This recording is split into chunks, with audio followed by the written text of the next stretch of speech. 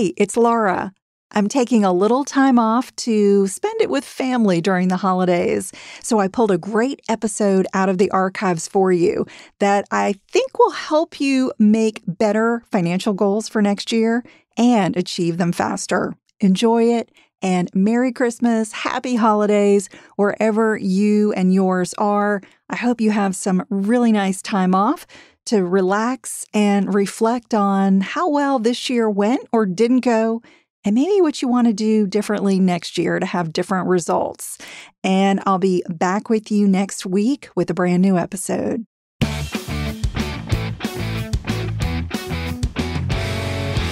Achieving your financial goals is all about getting one step closer to the life you daydream about, where you feel happy, secure, and on top of the world.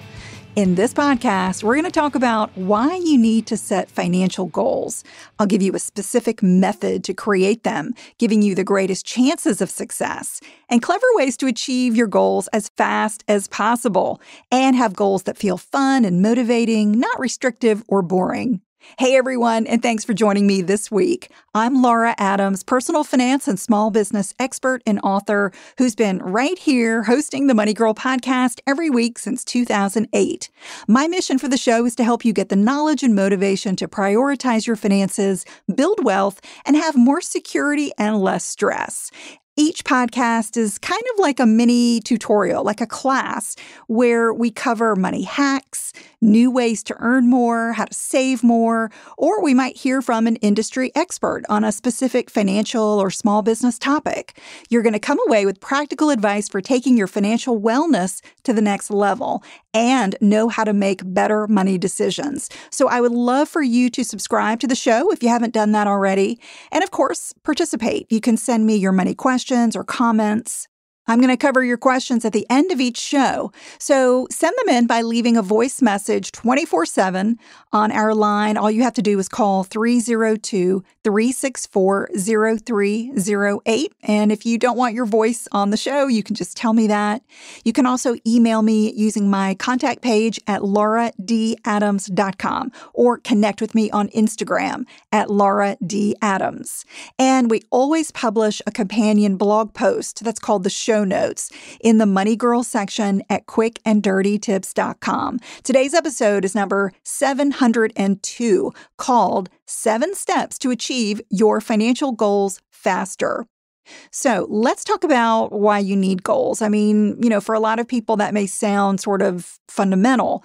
And while everyone is different, we've all got things that we want, you know, whether it's a new car, a home remodel, uh, no more student debt, a secure retirement, maybe going on a, a vacation around the world. I mean, we're all so different. We all have different goals. So you need to identify yours.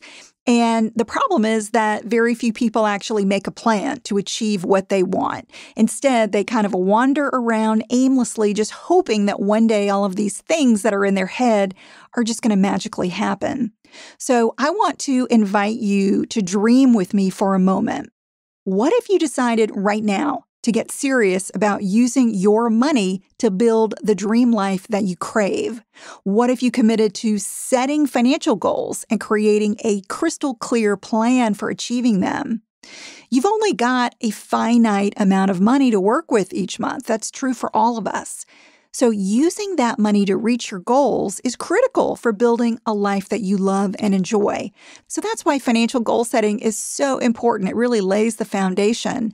And I'm going to talk about seven steps to achieve your financial goals as quickly as possible. So, let's get into it. Number one, write down your financial goals. And maybe if you don't write them, maybe you type them into a document, into some kind of digital format. I want to ask you who do you think is more likely to achieve their goals? Someone who just has a vague idea of what their goals should be, or someone who's put them clearly down in writing?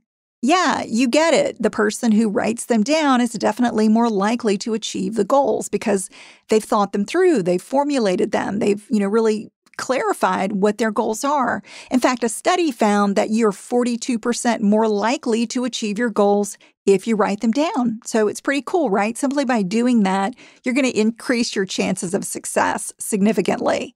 So Take 30 minutes today or even 15 minutes today to write down your financial goals or type them into a Google Doc or into a spreadsheet. Aim high, hold nothing back. Maybe you want to save for an amazing vacation. Maybe you want to start a joint venture. Maybe you want to buy an investment property. Maybe you want to increase your income, invest for your kids' college education, or increase your cryptocurrency holdings. Whatever your goal is, write it down, no matter how out of reach it may seem to you right now. So, that is step number one. Get it down in a digital form or uh, literally on a piece of paper.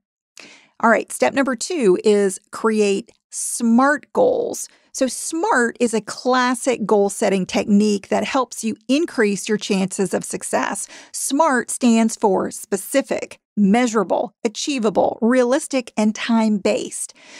Let me give you an example. Let's say you write down, I want to save more for retirement.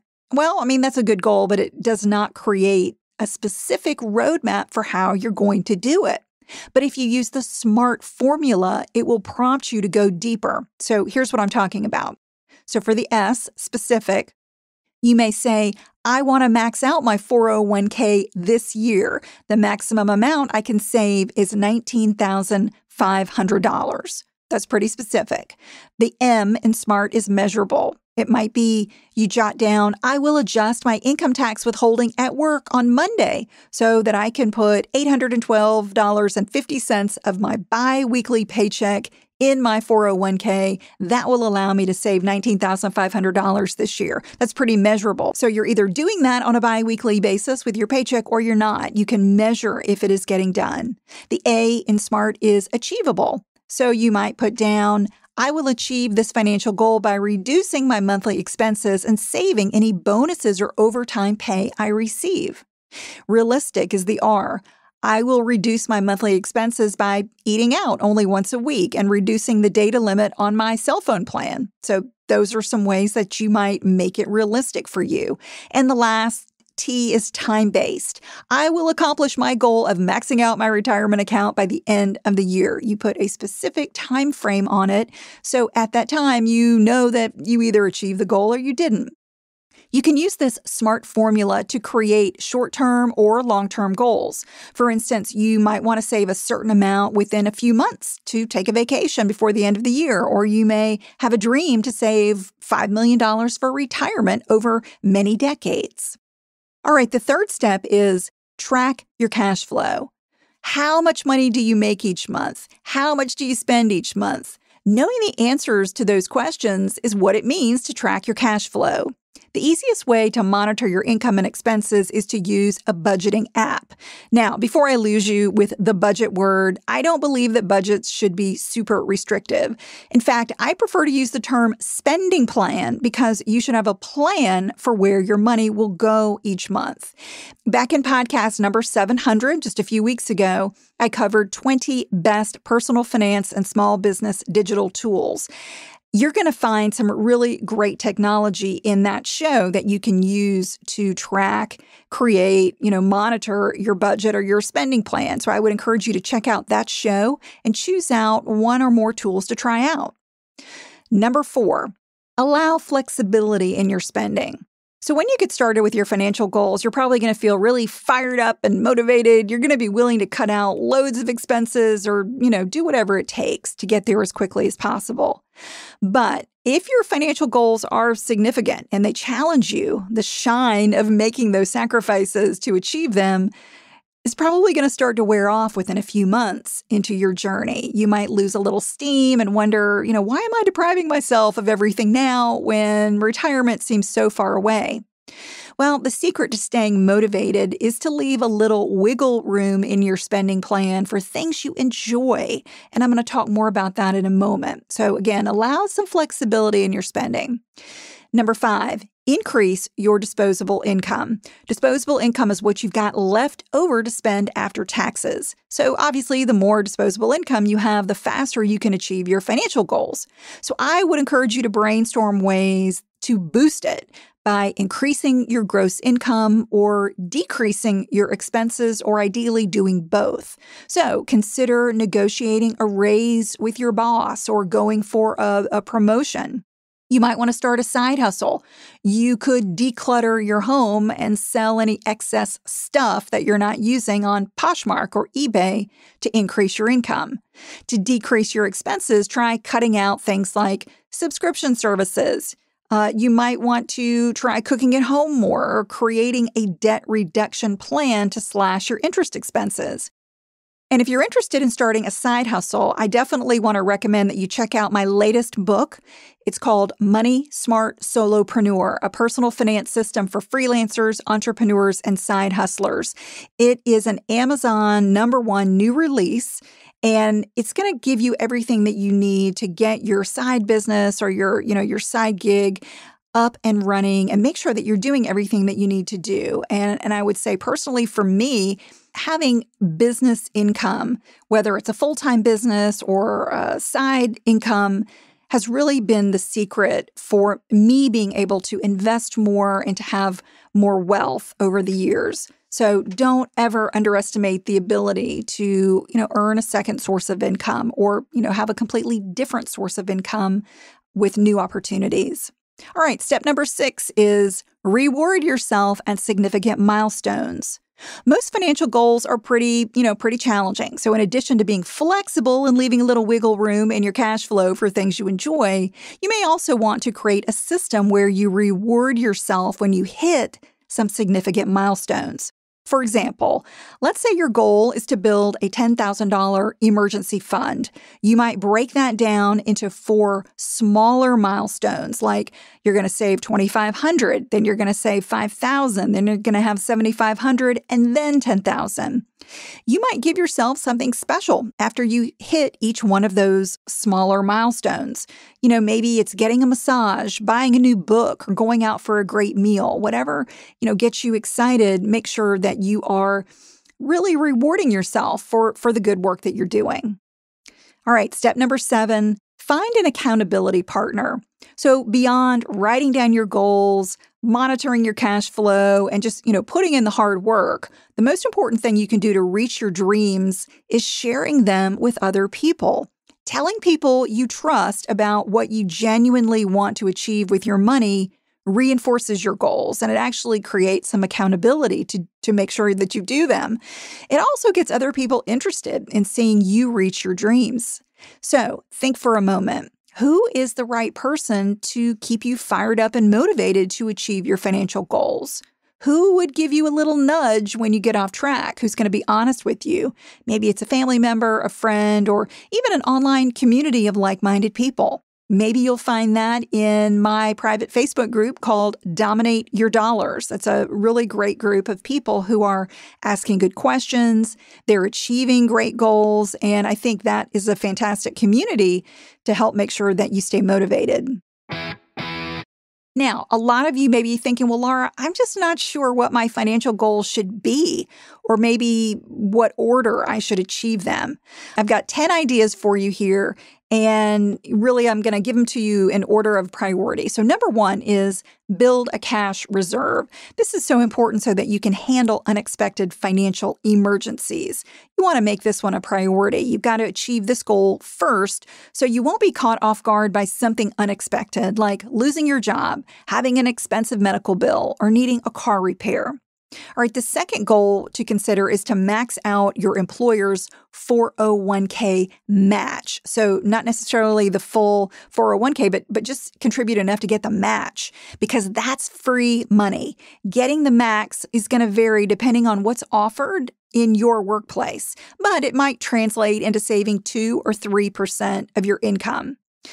Number three, increase those contributions to your retirement account. So, as you can bump up those contributions every year, that's going to make sure you build security for the future. And if you don't have a 401k at work or you're self employed, you can open your own retirement account. It could be an individual retirement account, that's an IRA, or maybe if you're self employed, you might be looking at a SEP IRA or a solo 401k. Whatever type you use, slowly boost your retirement contributions until you max out the account. All right, the fourth goal to consider is to max out a health savings account or HSA. That can really cut the cost of healthcare, but you've got to have an HSA eligible health plan to qualify. It will allow you to pay for a variety of medical expenses on a tax free basis. All right, the fifth goal to consider is, like I mentioned, increase your income so you've got more disposable income to save and invest. I would encourage you to check out a prior podcast, number 650, called Five Tips for Building a Side Business. That will give you some ideas and inspiration to create an additional source of income. All right, Goal number six to consider is pay off your high interest debt. That will reduce your interest expense as much as possible. And if you need a step by step guide to create a debt reduction plan, do not miss my best selling online class called Get Out of Debt Fast, a proven plan to stay debt free forever. You can find a link in the show or you can find a link to that course at my website, lauradadams.com. It will really jumpstart your debt reduction plan. Goal number seven to consider is purchase insurance. You need to fill any coverage gaps that you may have, such as a health plan, term life insurance, or long term disability insurance. Insurance is so important for protecting everything that you've worked so hard to, to build. So don't go without key policies. Goal number eight save for your next vacation so you can pay for it in cash instead of credit. Goal number nine might be saving for a home down payment. Now, owning a home is not for everybody, but if it is something that you want to do, the more that you can save now, the more you can reduce your monthly mortgage payment and interest later on. And goal number 10 might be contributing to a 529 savings plan. That is a tax advantaged account that you can use to pay for college expenses for you or a child, or even up to $10,000 a year for private school for a child. If you can choose one or two either short or long term goals that you can tackle this year, I promise you, your financial life will leapfrog and your very happy future self will thank you. So I hope that will get you jump started to, to be thinking about goals. Now, let's get on to your questions. Uh, I've got a couple here to cover. The first one comes from Russell, who says, First, thank you so much for your show and what you do. I recently discovered your podcast and can't get enough of it. What I love most about it, particularly in comparison to other financial podcasts, is how short and succinct each of your podcasts is. There's no fluff, and each podcast is very well titled so that I can pick and choose what I want to learn. I'm a W 2 employee falling in the highest tax bracket and on a fairly good financial footing. I have no debt except my primary mortgage. I've got five months' expenses set aside in cash as an emergency fund. I max out my 401k. I've got a backdoor Roth IRA, and I max out an HSA every year and generally invest a healthy amount in taxable accounts. Here's my question. As I save for certain short to medium term goals, such as buying an investment property or a new car, for example, where should I put that money? Assuming that it would take me about two years to reach my goal, should I just put the cash in a savings account? Or are there other options that might offer better rates of return? What if I invested into an S&P 500 index fund each month with the cash I'm saving for a goal that I want to reach in about two years. I'm thinking that since this is not an emergency fund, if it wasn't a good time to withdraw the money, I could theoretically delay for a year or so. Any other options you would recommend? Well, Russell, thank you, thank you for your kind words about the show. That's just awesome feedback. And that's exactly why I keep producing the show week after week with no fluff, as you mentioned. I love your question, and I think it fits super nicely with today's topic. First of all, congrats on doing so, so well with your finances by having a cash reserve, maxing out multiple tax advantage accounts, and still investing more in taxable accounts. You're in a really good position, so I'm going to send you a virtual high five right now. You are doing great. Since you've got an emergency fund, which I'm assuming is in a super safe place, like a bank savings account, because you said it was in cash, you have a lot more latitude for handling money dedicated to your short term goals, which I generally define as less than two to three years. And I totally understand wanting to earn more than a fraction of a percent on that money while also keeping it relatively safe. So here are some ideas. You might keep all or a portion of it in a high interest savings account. If you go to a comparison site such as finder.com, you can find a review of the best accounts. For instance, right now, the best option is paying 0.7% on balances up to $10,000 and 0.45% on amounts above 10,000. This account has no annual fee. Now, I know that's still not stellar, but it's definitely going to beat a typical savings account. Another option is putting the funds in a short term CD, such as a 12 month product or maybe even a 24 month product if you know you won't need the money for, for two years. However, right now, they're paying about the same as the best high yield savings rate that I mentioned. So that's not going to do you any good. It would be better just to have it in a savings account rather than lock it up in a CD. And as you mentioned, you could invest all or a portion of your money earmarked for your short term goals in an index fund, as long as you're willing to have a potential loss in the account right at the time you're ready to buy the car or the investment property or whatever it is that you want to purchase. So again, you know, you're in a little bit of a better position than many people because you've got lots of financial cushion in your life. So I would say if you do want to invest, you know, maybe half of it, um, that might be uh, okay for you because you're in a in a good position, even if it did drop in value just a little bit. So thanks so much, Russell, and I, I hope that helps. I got another question from Gladys who says, I have questions about how to invest or make money the safe and smart way because I'm afraid to take risks. You make me feel that I can do it and that anybody can accomplish changes in life. And Gladys said many, many more kind and generous things. Uh, so thank you so much, Gladys. I really am honored to have you in the Money Girl community. And yes, everyone, and I mean everyone, can make small or even big changes in their financial lives and have more security. They can build wealth and have less financial stress. So, Gladys, a good show for you to check out is podcast number 531 called Eight Investing Rules to Follow Even When the Stock Market Drops. In that show, I really kind of drill down to the difference between saving and investing. Even though we use those terms kind of interchangeably, you shouldn't confuse them. They're not the same thing. With saving, you're putting money aside without exposing it to any risk or very little risk, such as in a savings account, a money market deposit account, or a CD. Investing is when you commit money to an endeavor with the expectation that you're going to make a profit or make some income. And there's obviously risk to that. The risk is that you'll receive less than you expect, or worse yet, a possibility that you could lose your entire investment. So, what I would recommend that you do is think about saving and investing as a kind of a long scale. At one end, it can be super duper conservative, and on the other end, it can be extremely risky. What I want you to do is find somewhere right in the middle that makes you feel comfortable. Investing does not have to be super risky. Yes, it always is going to involve some amount of risk, but you know, ultimately you're going to find a level of risk that you're comfortable with.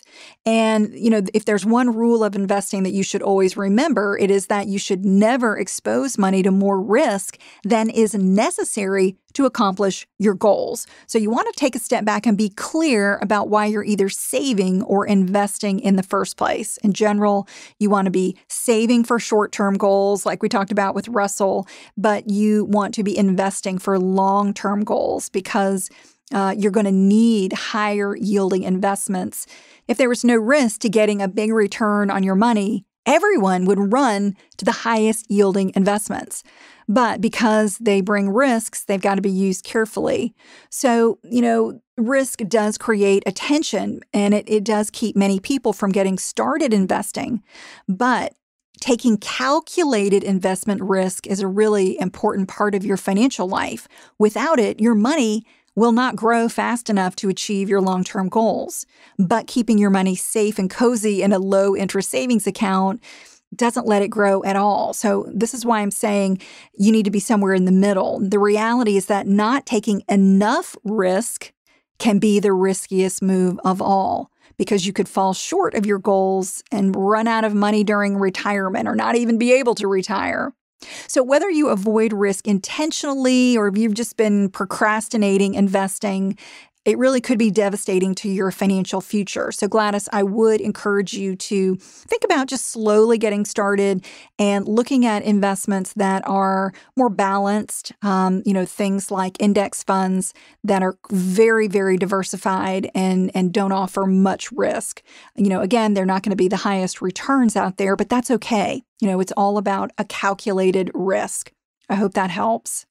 If you have not yet joined my free private Facebook group called Dominate Your Dollars, like I mentioned, it is an amazing group of people. If you want to get into the group, you can search for it on Facebook or text the word dollars, D O L L A R S to the number 33444 and I'll send you an invitation. And of course, you can also visit lauradadams.com where you'll find my contact page and more about me, my books, and online courses. That's all for now. I'll talk to you next week. Until then, here's to living a richer life. Money Girl is a quick and dirty tips podcast. It's audio engineered by Steve Riekeberg with script editing by Adam Cecil. Our operations and editorial manager is Michelle Margulis. Our assistant manager is Emily Miller, and our marketing and publicity assistant is Davina Tomlin.